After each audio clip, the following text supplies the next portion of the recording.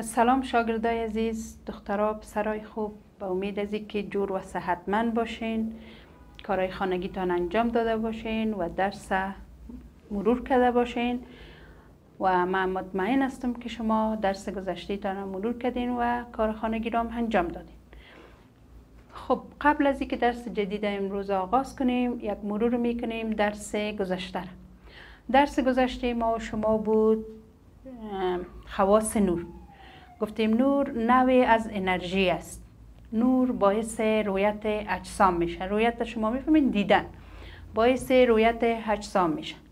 اجسام وقتی قابل دیده هستند که از آنها نور به چشم ما برسه. نور در دو صورت از جسم به چشم ما می‌رسه. یک اجسام مانند چراغ، آفتاب، شم، ستارگان و غیره که از خود نور منتشر می‌کنند که در اثر انتشار نورشان ما آنها را می‌بینیم.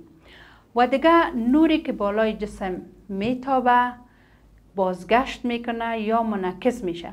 البته یک قسمت نور توسط جسم جذب میشه یک قسمت دیگهش بازگشت می‌کنه. و نور بازگشت شده به چشم ما می‌رسه و بدن ما و جسم مشاهده می‌کنیم. ای بود درس گذشته ما و شما. البته درس جدید هم درباره نور است. ما یک سوال شما می‌کنم. اگر شما یک نل خمیده را بگیرین و بخواین توسط از چیزی را ببینین آیا چیزی را دیده می‌تونین؟ یک نلی که خم شده باشه. طبعا میگین که دیده نمی‌تونیم. چرا دیده نمی‌تونیم؟ به خاطر که نور به خط مستقیم منتشر میشه. و درس امروز ما و شما هم است. انتشار نور به خط مستقیم. از درس قبلی ما و شما دانستیم که برای دیدن یک جسم باید از جسم نور به چشم ما برسد. ما چیزی را توسط این نل خمیده دیده نمی توانیم زیرا که نور به صورت مستقیم انتشار می کند پس نمی تواند از طریق نلی که شکل مستقیم ندارد انتشار نماید و به چشم ما برسد. پس در اینجا وقتی که نل قاد باشه ما چیزی را دیده نمی‌تونیم. چرا؟ به خاطری که نور به خط مستقیم منتشر میشه یا انتشار می‌کنه. در مثال دیگه هم ببینین. مثال دیگه گفتم مثلا در شکل شما می‌بینین که شعاعت نور نور آفتاب که از لابلای شاخها و برگ های درخت به زمین می‌رسد و یا نوری که از سوراخ یک کلکین به داخل میتابد. اما این مثال ها نمایانگر هزی است که نور به خط مستقیم منتشر میشه. حالا به خاطری که موضوع را خوبتر درک کرده باشین و بفهمین که واقعا نور به خط مستقیم انتشار می‌کنه یک فعالیت انجام میدیم. فعالیت یک بار می‌خوانیم. سه صفحه مقوا را به شکل مربع های مساوی برش نموده. بعدا توسط خطکش قطرهای هر مربع را ترسیم و در نقطه تقاطع قطرها یک سوراخ کوچک ایجاد کنید. سپس آنها را مطابق شکل زیل بالای میز قرار داده مقابل صفحه اولی یک شم را روشن نمایید. برای اینکه اطمینان حاصل نمایید که سوراخ های عرصه صفحه به طور مستقیم قرار گرفته یا نه می توانید از تار استفاده نمایید. حالا از سوراخ صفحه آخری ببینید. آیا نور شم را دیده می توانید بار دیگر یکی از صفحات را از جای شندک بیجا کنید و سوراخ صفحه مذکور را مشاهده کنید. آیا نور شم را خواهید دید؟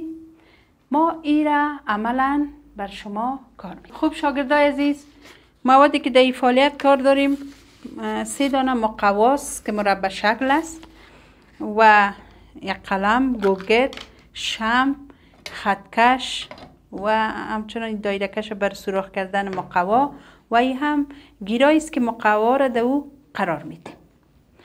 خب اول امی چی را مقوا را می‌گیریم.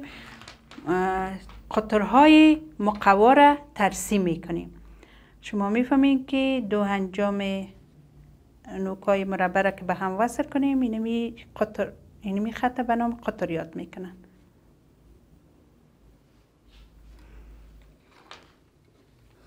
در رسم کردنش خوب دقت کنین که اگر کج شد باز درست نمیه.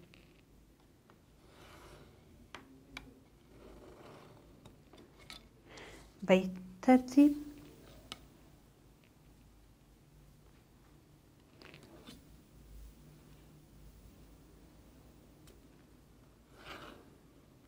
خب نقطه تقاطع زیره که اینجا هست. دیدین؟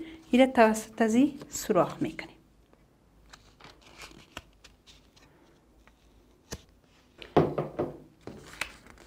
خب دیگه شبه می شکل هر سه زیره قطرهایش ترسیم می‌کنیم.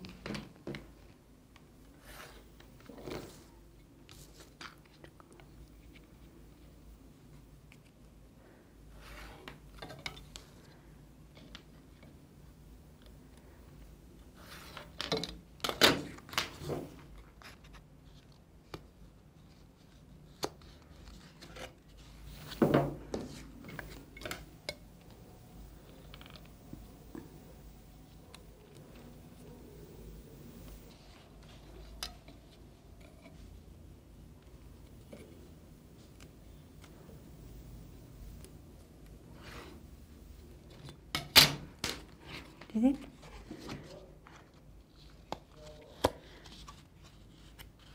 خب آله شما ایره کم منظم می سازین که سوراخ کم واضح تر معلوم شوه.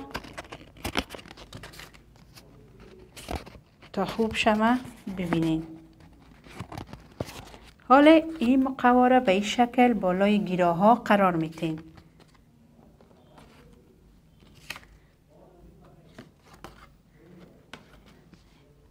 صحیح شد حالا شمع دیجه در میتین در مقابل ازی.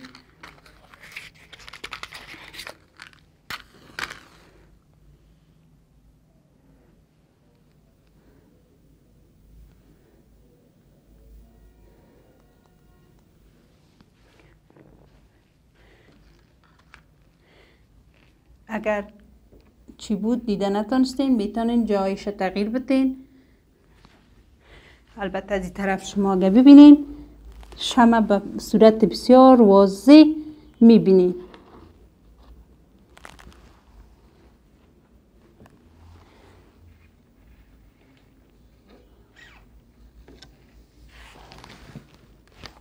بسیار خوب شما شما می‌تونین مشاهده کنین چرا علت از چی هست؟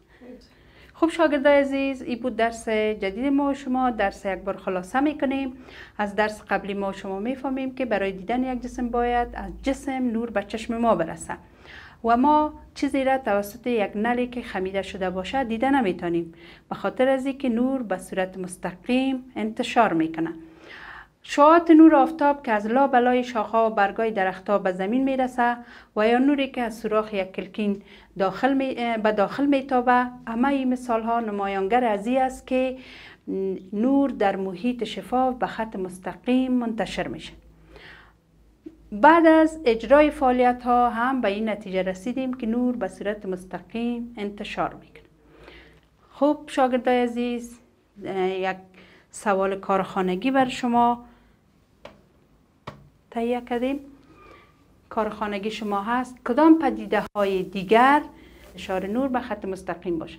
شما بعض پدیده های دیگر را جستجو کنین و پیدا کنین. در کتابچه هایتان نوشته کنین که دیگر چیزی هست که ما می‌تونیم انتشار, انتشار مستقیم نور بر ما نشان بده. از توجهتان تشکر به امید موفقیت های چی بیشترتان و به امید از که درس بخوانین و کار خانگیتان اجرا کنین. تا دیدار بعدی خدا حافظ